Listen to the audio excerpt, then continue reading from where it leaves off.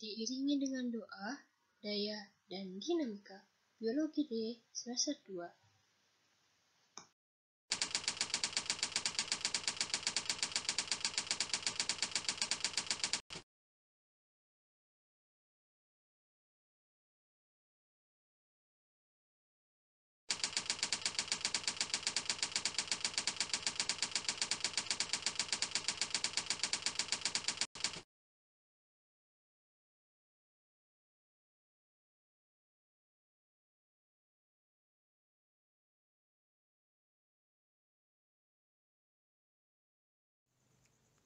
Ribosom diteliti pertama kali oleh George Emil Palade, ilmuwan asal Romania pada pertengahan tahun 1950 dengan menggunakan mikroskop elektron. Kata ribosom sendiri pertama kali digunakan pada tahun 1958 oleh Richard B. Robert. Ribosom berasal dari bahasa Yunani yakni badan dan asam ribonukleat atau ribonucleic acid. Fungsi ribosom Fungsi ribosom di antaranya yaitu Pertama, sebagai tempat produksi dan sintesis protein. Yang kedua, yaitu sebagai mesin yang mengatur dan memiliki komponen yang terlibat dalam sintesis protein. Kemudian, juga digunakan untuk mengikat asam-asam amino yang ada di dalam sitoplasma.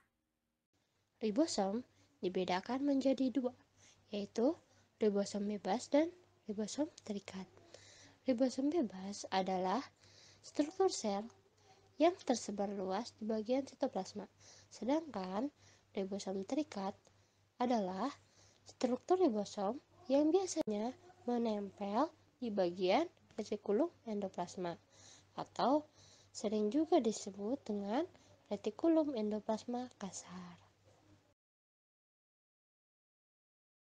Jenis-jenis ribosom Jenis ribosom itu ada dua.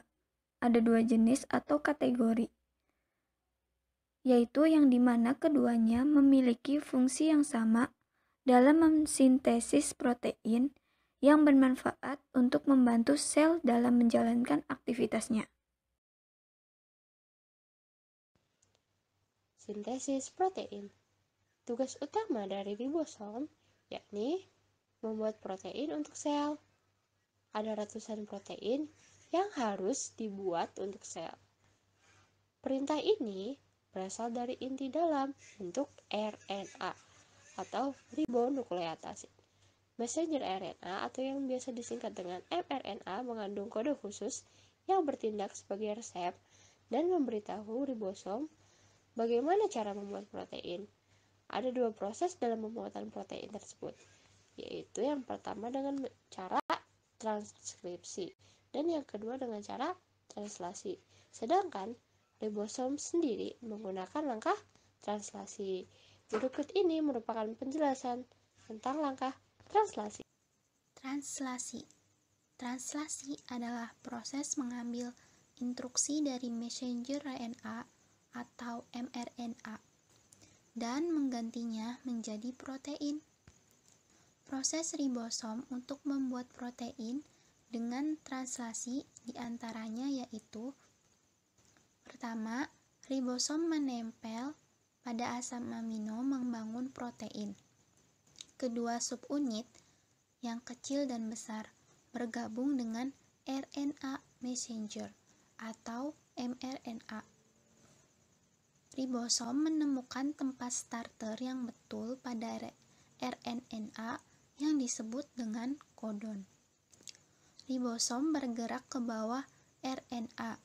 Setiap tiga huruf pada RNA adalah asam amino baru membaca petunjuk mengenai asam amino.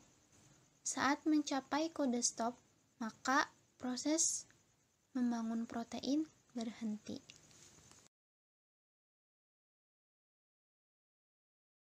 Struktur ribosom Struktur ribosom terdapat dua bagian struktur penting dalam ribosom, yakni asam ribonukleat atau RNA dan protein.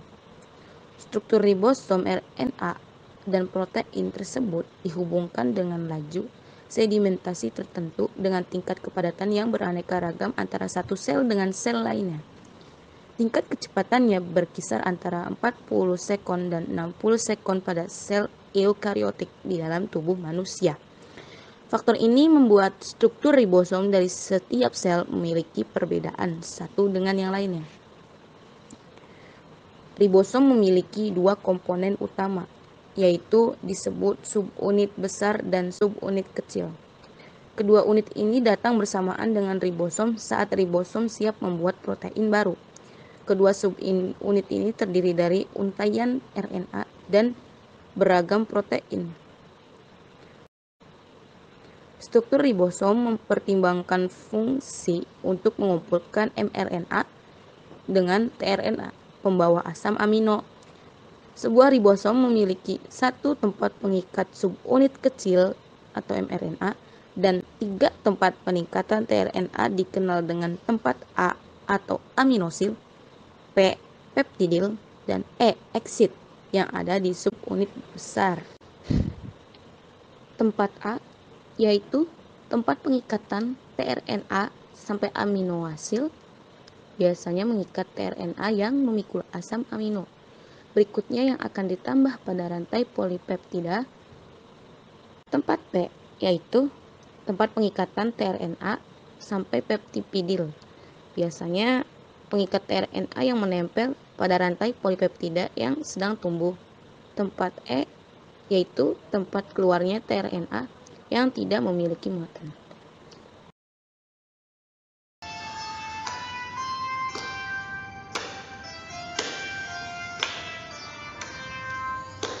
Ribosom